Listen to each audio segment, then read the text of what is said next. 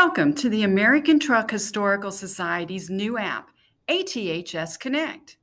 Today, we're going to learn how to download the app. Let's get started. First, grab your mobile device, go to the camera, open it, point it to the QR code as if you're taking a photo. When your camera has the QR code in focus, a link will pop up. Click that pop up link and it automatically takes you to your App Store to download ATHS Connect. Another way to find the app is to search for it in your App Store. Go to App Store as an Apple user or Google Play as an Android user.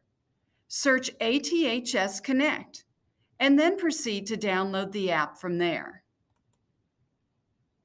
Next, we will create a username and password for the app. Enter your email address as your username and create your own password. This will get you access into the app. Enjoy your new connection to everything ATHS and your connection to trucking enthusiasts around the world.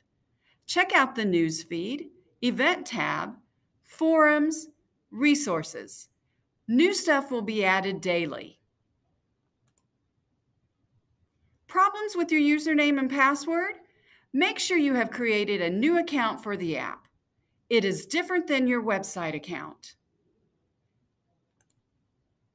Troubleshooting problems with the app can be directed to info at aths.org.